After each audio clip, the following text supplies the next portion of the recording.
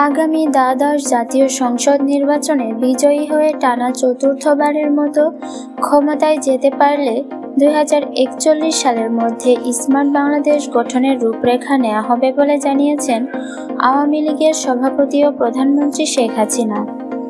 এ সময় রূপকল্প দুই হাজার একচল্লিশ বাস্তবায়নে এগারোটি পরিকল্পনার কথা জাতীয় সংসদকে জানান প্রধানমন্ত্রী।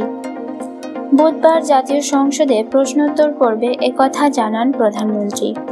স্পিকার ডক্টর শিরিন শারমিন চৌধুরীর সভাপতিত্বে সংসদ অধিবেশন অনুষ্ঠিত হয়।